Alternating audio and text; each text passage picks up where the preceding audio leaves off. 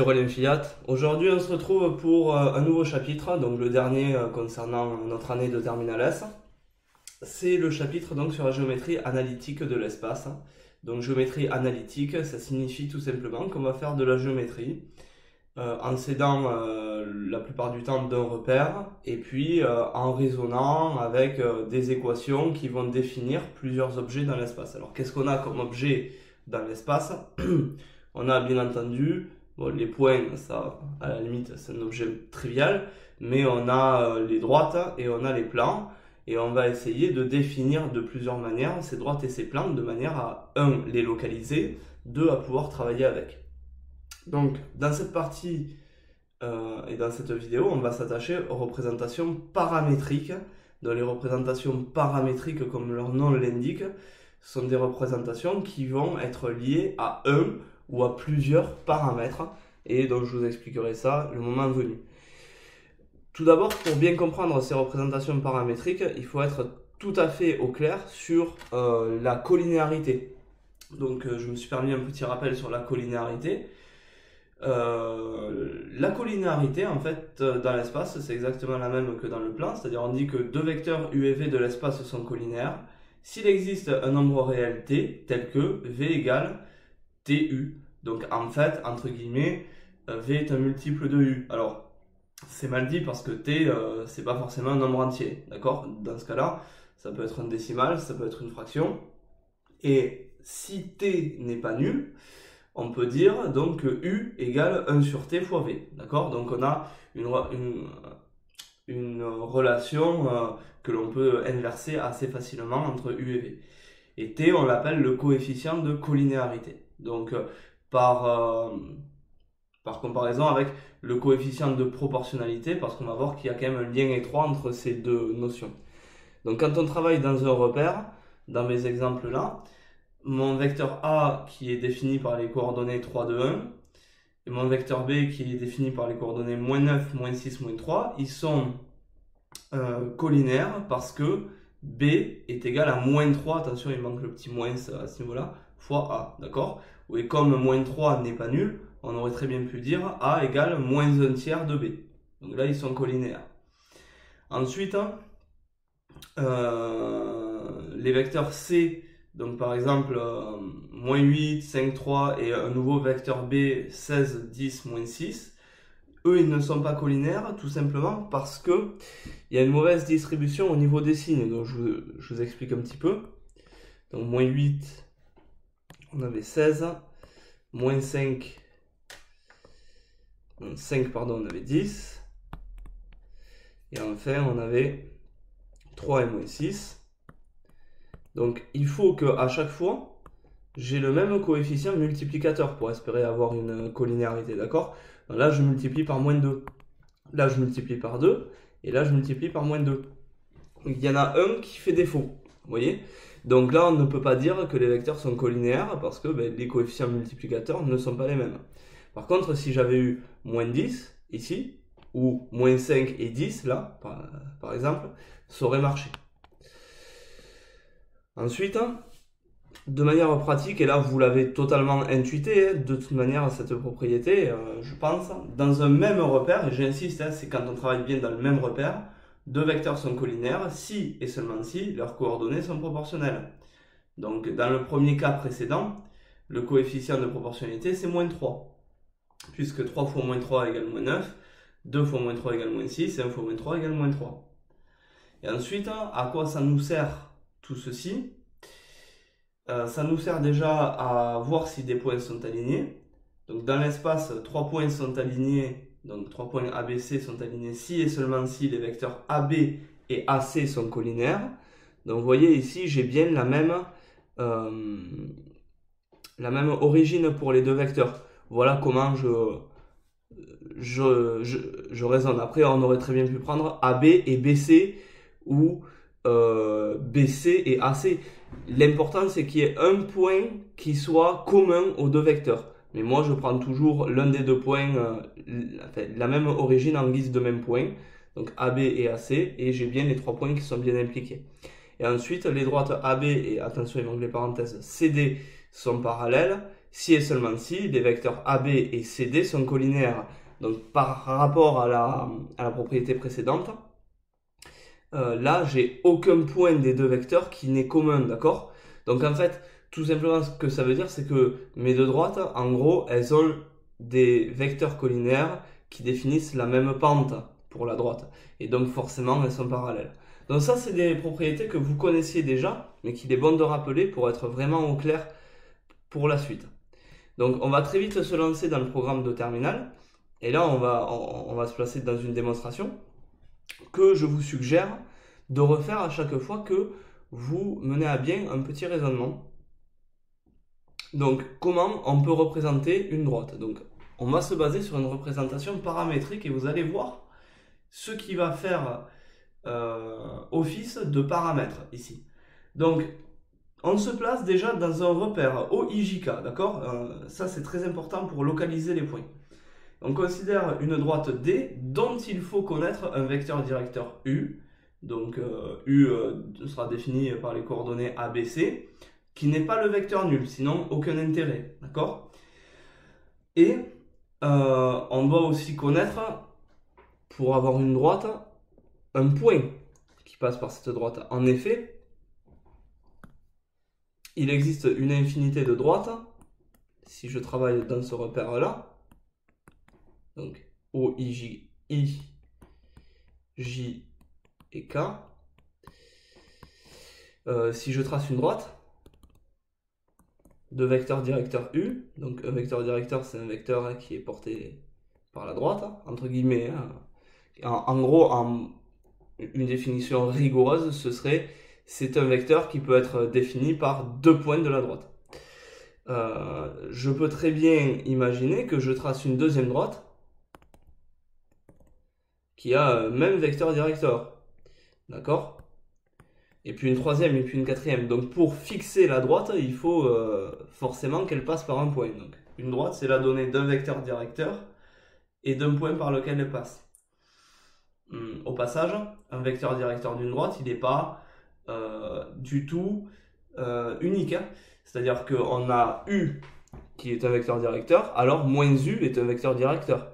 Mais tous les multiples de U sont des vecteurs directeurs. C'est-à-dire que tous les vecteurs collinaires à U sont des vecteurs directeurs de la droite. Hein. Donc on en prend un. Alors qu'est-ce qu'on fait avec ce vecteur directeur? Eh bien, c'est exactement la même chose qu'on faisait l'an dernier avec les équations cartésiennes de droite, on va raisonner un petit peu de la même manière. On sait qu'un point M mobile, d'accord? C'est-à-dire que sur mon schéma, je vais prendre un point M, x, y, z, tac, par exemple ici, et je m'amuse à le faire bouger sur la droite. Hop, voilà, il va se décaler. Et donc ce point-là, il appartient à la droite si et seulement si le vecteur AM et le vecteur U sont collinaires. c'est-à-dire si et seulement si alors là je l'ai tracé un peu en décalé, mais mon vecteur AM et mon vecteur U, bon, entre guillemets, très mal dit, mais ils sont parallèles. Donc, on ne dit pas vecteur parallèle, on dit vecteur collinaire. Ils ont la même direction, en gros, la même pente. Donc, ça, comment je, je l'exprime? AM et U sont collinaires, si et seulement si, c'est la définition. Il existe un réel T tel que AM égale T fois U. Alors, AM, c'est coordonnées c'est les coordonnées de M moins les coordonnées de A.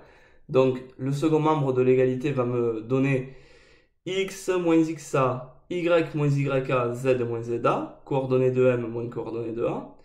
Et les coordonnées de U, je vous rappelle que U c'est ABC, donc les coordonnées du vecteur TU, c'est TA, TB, TC. Donc si et seulement si, il existe T dans R tel que j'ai ce système-là qui est euh, vérifié. Donc c'est un système 3-3. J'insiste bien que le T ici, je l'ai bien placé, il existe T derrière, je l'ai placé avant le système parce que c'est le même pour toutes les lignes, d'accord? Et donc, ça nous amène à isoler, puisqu'on veut connaître une condition sur X, sur Y et sur Z, c'est-à-dire sur notre point M. On isole x, y, z en faisant passer les x, y, z de l'autre côté. Donc ça nous donne, si et seulement si, il existe t dans R tel que x égale xa plus t xa plus ta, y égale yk plus tb, et z égale za plus tc. Ce que je viens d'encadrer là, c'est une condition nécessaire et suffisante pour que mon point M appartienne à la droite D ainsi définie. Donc c'est ce que dit mon théorème, d'accord? Ni plus ni moins. Et donc, ce que j'ai encadré, que j'ai mis en orange ensuite, ça s'appelle une représentation paramétrique de la droite D. C'est-à-dire ce que j'ai obtenu en, réalisant mon raisonnement par équivalence, c'est une équation c'est une représentation paramétrique. On peut voir aussi système d'équations paramétriques ou par abus de langage équation paramétrique. Alors, une représentation paramétrique, en gros, c'est-à-dire que j'ai, entre guillemets, mes inconnus x, y, z qui vont dépendre d'un point fixe xa, yk, za. Donc ça, c'est un, ce sont des nombres réels, d'accord? Sont des données du problème, qui va dépendre d'un vecteur directeur ABC. De la même façon, ça, ce seront des données du problème. Mais par contre, je vois que mon t, là, il est dans R. C'est-à-dire que euh, ce qui va faire office de paramètre, c'est t. Il aura plusieurs, il pourra prendre plusieurs valeurs dans R. D'accord? Et on, va voir comment ça va se goupiller, ceci. Donc cette fois-ci, on n'a pas une équation cartésienne, c'est-à-dire une seule équation. On a trois équations, une pour l'abscisse, une pour l'ordonnée et une pour la cote. Donc, qu'on soit très clair, euh, il existe autant de représentations paramétriques que de couples vecteur-directeur-point. Donc là, vous raisonnez, il existe une infinité de points, il existe une infinité de vecteurs-directeurs, donc il existe une infinité de ces couples-là. Donc il y a une infinité de représentations paramétriques suivant sur quel point vous vous basez. Là, on s'est basé sur un point A, mais on aurait très bien pu se baser sur un point B, et donc et se baser également sur notre vecteur directeur. Et là, quand mon t varie dans R, ça signifie que par rapport à mon point A, je peux aller. Alors, je vais essayer de le refaire. Voilà. Quand t varie dans R, ça veut dire que je peux aller d'un côté. Donc, par exemple, si U va vers là, donc si t est positif, je vais aller dans le sens de U. Et si t est négatif, je vais aller dans l'autre sens. D'accord? Donc ça veut dire que à terme, je vais représenter toute ma droite. Ok? Si j'avais pris simplement t positif, je serais resté dans cette partie-là de la droite, et du coup, j'aurais oublié cette partie-ci, et j'aurais non plus eu une droite, mais une demi-droite.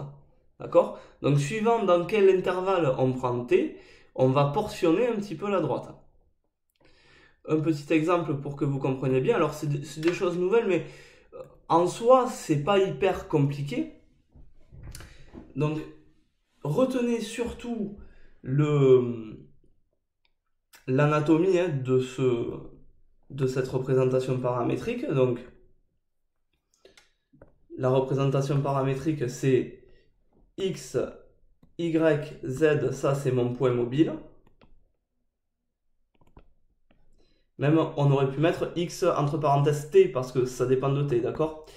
Y entre parenthèses t, z entre parenthèses t, ça on le faisait avant. Égal, donc xa, ya, za, c'est le point de référence.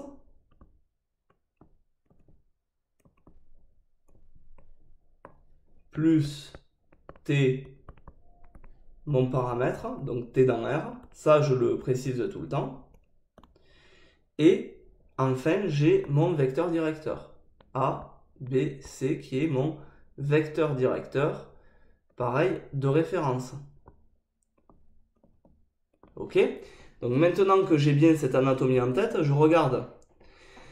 Dans l'exemple 1, on me dit x égale moins 7 plus 2t, y égale moins 3t, z égale 2 euh, plus t. t dans R. Ok. Alors je vais essayer de rapporter un petit peu. Donc x égale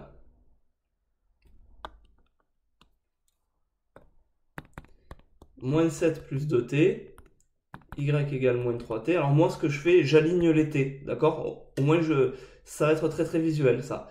Et ensuite, 2 plus t. Bon, eh bien, regardez ce que je lis. Alors t dans R, hein, toujours. Ici, j'ai les coordonnées de mon point de référence.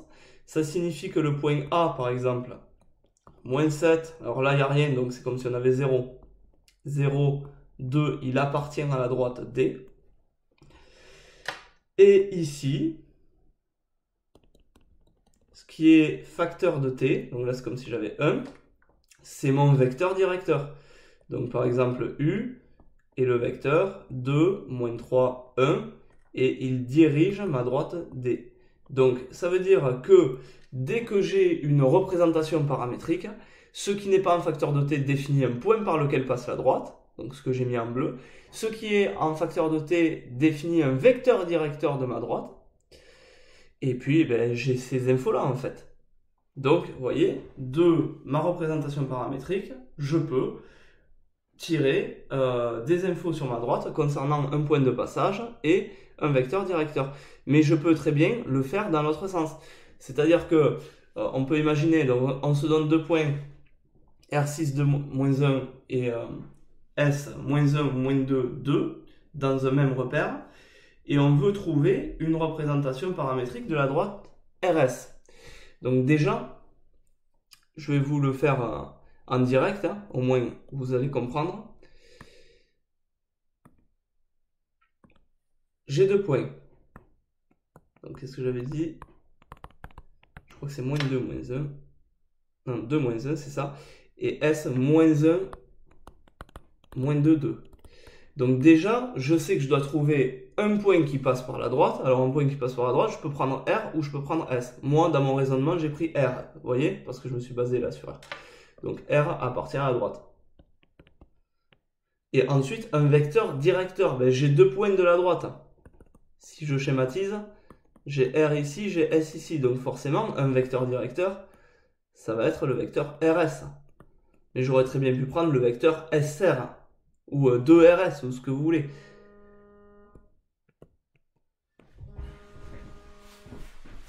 Donc, on est parti pour trouver le vecteur RS.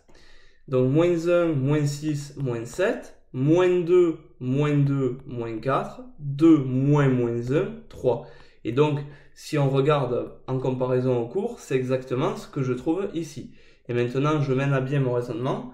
M, un point mobile, de coordonnées x, y, z appartient à ma droite D, si et seulement si le vecteur Rm, là je peux déjà donner ses coordonnées, à, on peut dire donc Rm c'est, euh, euh, on, le fera après, Rm et Rs sont collinaires, si et seulement si il existe un réel t qui va jouer le rôle de mon paramètre tel que Rm égale TRS. Et maintenant, ben, j'y vais pour mon, pour mon système. Il existe T appartenant à R tel que... Alors, les coordonnées de Rm, les coordonnées de Rm, ça va me donner donc xm, donc x moins xer moins 6, ym, y moins yr moins 2, et euh, Zm, Z moins moins 1, donc plus 1, égale T fois RS, RS j'ai là, donc moins 7T, moins 4T, 3T, et donc, hop, on va décaler, si et seulement si, il existe T dans R tel que x égale 6 moins 7t, y égale 2 moins 4t, et z égale moins 1 plus 3t. Alors, il y a des livres et euh, des professeurs qui font faire ça de suite en disant, euh, oui, alors ici j'ai euh, un point de référence, c'est les coordonnées du point R. Ici, j'ai les coordonnées de mon vecteur directeur, donc je peux y aller directement. Oui, vous pouvez, dans les faits. Mais moi, plus, plutôt que, d'apprendre par cœur une, forme, enfin, il faut l'apprendre par cœur, mais l'utiliser sans, euh, sans substance mathématique, ça me gêne un peu. Ça prend deux secondes à refaire ce raisonnement-là, et au moins vous êtes sûr de ne pas vous planter ensuite. Donc ça, c'est pour l'équation, la représentation paramétrique d'une droite. Et puis, comme je vous l'ai dit, nous, on peut aussi travailler avec un plan. Alors, un plan, à la différence d'une droite, c'est qu'il est en deux dimensions, d'accord? Un plan, c'est une feuille de papier. Une feuille de papier, vous pouvez y tracer un repère. Par exemple, là, si je raisonne sur mon écran d'ordinateur, euh, ça c'est ma feuille de papier, bon, on va la délimiter, voilà. Et bien, dans ma feuille de papier, je peux tracer un repère à plan, d'accord? Euh, IJ par exemple, OIJ. Euh, donc il est bien en deux dimensions. Donc, comme une droite c'était en une dimension, on peut aller que dans une direction, hein, soit dans un sens, soit dans l'autre. Il y avait un vecteur directeur. Et là, du coup, comme mon plan il est en deux dimensions, je vais avoir la nécessité de trouver deux vecteurs directeurs. Donc pour un plan, il va falloir considérer deux vecteurs directeurs non nuls. Et alors non collinaires aussi, parce que effectivement, si vous avez un vecteur directeur U, et puis vous reprenez un autre vecteur directeur euh, comme ça, V, ils sont collinaires, ils ne définissent pas le plan, ils définissent une droite. Donc plutôt que de prendre un V comme ça, on peut le prendre euh, comme ça par exemple. Tac. Voilà. Euh, donc U de coordonnées ABC, non nul, V de coordonnées A', B', C', et il nous faut quand même un point pour fixer le plan, hein, parce que c'est la même histoire qu'avec les droites. Donc on dit que M, le point mobile de coordonnées X, Y, Z appartient au plan, si et seulement si les vecteurs AM, U et V, cette fois-ci ne sont pas collinéaires, mais coplanaires. On avait vu cette notion déjà dans le précédent chapitre, c'est-à-dire qu'ils appartiennent au même plan. Et quelle est la condition nécessaire et suffisante pour qu'ils soient coplanaires? Il faut qu'il existe. En fait, il faut que l'un des vecteurs s'exprime en, fonction des deux autres, c'est-à-dire comme combinaison linéaire des deux autres, on dit. C'est-à-dire qu'en gros, si je prends AM comme vecteur de base, il doit exister deux coefficients, t et t' réels, tel que AM égale T fois le premier, donc U, plus T' fois V. D'accord? Et donc, ça nous donne le système suivant. AM, ses coordonnées, c'est X moins XA, Y moins YA, Z moins ZA. TU, ça va donner TA, TB, TC. T'V, ça va donner T'A', T'B', T'C'. Et on obtient le système suivant. Et en faisant passer encore une fois des XA, YA, ZA de l'autre côté, ça me donne, il existe, alors là, il me manque juste T' dans R, T et T' dans R. Il y a deux paramètres, du coup, tels que X égale XA plus TA plus T'A, Y égale YA plus TB plus T'B, Z égale ZA plus TC plus T'C. Donc, ceci nous donne le théorème suivant que je viens simplement de vous, de vous démontrer. Et ce que j'ai encadré dans le théorème, ça, s'appelle une représentation paramétrique du plan P, avec cette fois-ci non plus un, mais deux paramètres, parce qu'on est avec un objet de deux dimensions. Enfin, deux dimensions 2 plutôt. Et encore une fois, il y a autant de représentations paramétriques que de triplés, vecteur directeur, point, c'est-à-dire une infinité. Encore une fois. Donc un petit exemple pour que vous compreniez un petit peu comment ça marche. Pareil, hein, je vais vous le faire en temps réel. Donc A, ça va être un point de coordonnées moins 4, 1, 0. B, moins 3, 1, 1. Et C, là, 2, 0, moins 4. Alors, là, je peux me baser sur n'importe quel point. Moi, je vais me baser sur A. Et ensuite, si je me base sur A, forcément, deux vecteurs directeurs du plan, ça va être AB et AC. Donc, AB, ça va me donner moins 3, moins moins 4. Donc, 1, 1, moins 1, 0, 1, moins 0, 1. AC, ça va me donner 2, moins moins 4, 6, 0, moins 1, moins 1, moins 4, moins 0, moins 4. On peut vérifier qu'on a bien les mêmes qu'ici. Et ensuite, je produis mon raisonnement. Un point M de coordonnées x, y, z appartient à mon plan P ou ABC. Hein. D'ailleurs, on peut mettre ABC.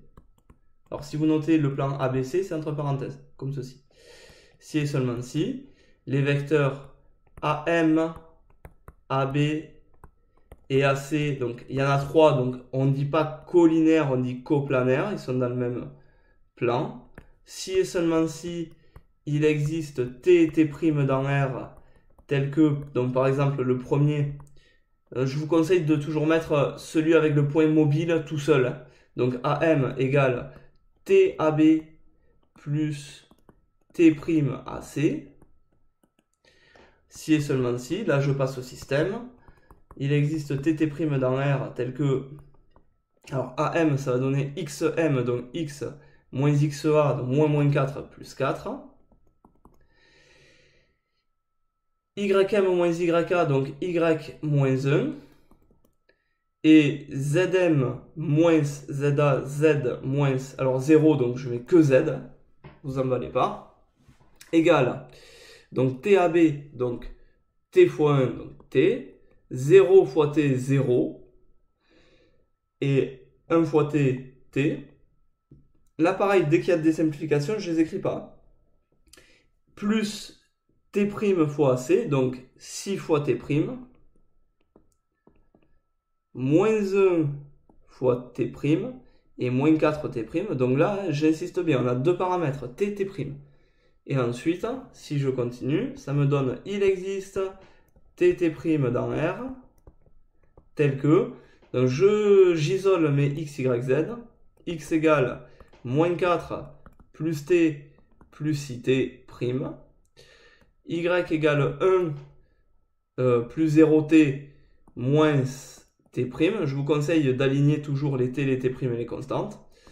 Et z égale, donc là j'ai rien, t moins 4t'.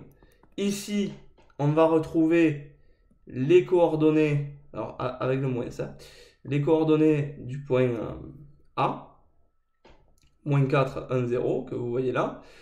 Ici, en en face du t, donc c'est comme si j'avais 1, 0 et 1, je retrouve les coordonnées de mon vecteur AB, de mon premier vecteur directeur, pour preuve.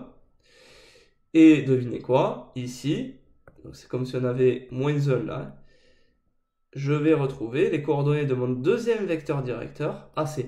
Et de la même manière que pour les coordonnées, les équations, les représentations paramétriques de droite, Là, une représentation paramétrique d'un plan nous permet de,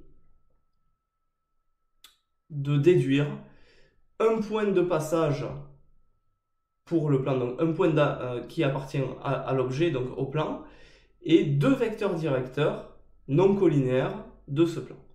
Voilà. Donc maintenant, vous pouvez passer aux exercices pour voir un peu comment ça se manipule ces trucs-là. Ce qu'il faut savoir faire, c'est donc, ayant une représentation paramétrique, être capable de déduire un point d'appartenance à l'objet et son ou ses vecteurs directeurs, qui sont présentés dans la représentation paramétrique. Le cheminement inverse, ayant les informations sur l'objet, être capable de créer une représentation paramétrique de cet objet, pour une droite ou pour un plan, et puis ensuite de s'en servir pour tester l'appartenance d'un point à un plan ou à une droite. Donc ça, vous allez voir les exercices, vous allez vous dégrossir un petit peu, et puis de toute manière, je fais une petite vidéo explicative sur ça.